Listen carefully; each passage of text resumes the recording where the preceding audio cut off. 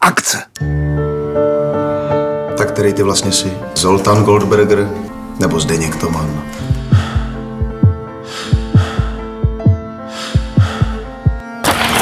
Měl jsem mi zatáčet.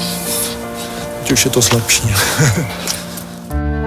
Přišel jsem na to, jak může mít scénu dolů. Zředíme to. No a když o to nebudou stát? Čapku, já zde vládnu. A to vám volá. To nebylo auto, to byla polepšovna. Neposadíte se? Vyloučeno. Cizí prostředí, mnoho bakterií.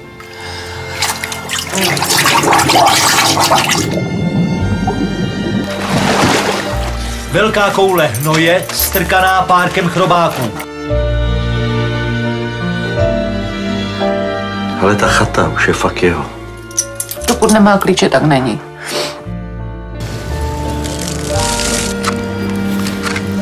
Já bych chtěl přerušit. Ty chceš přerušit studio? Kdy si myslíš, že zaměstnaj? Bez školy. A dokle? To může robit každý debil.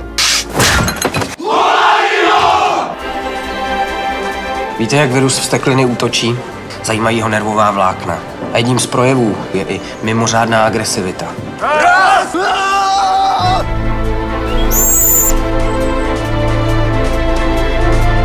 Průšvih.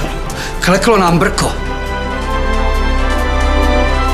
Ty tady dabuješ s mrtvým režisérem, Kájo. Co mám podle tebe dělat?